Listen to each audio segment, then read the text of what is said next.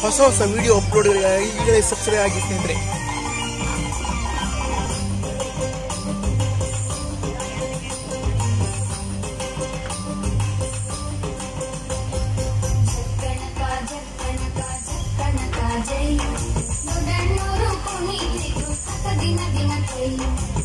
Thank you.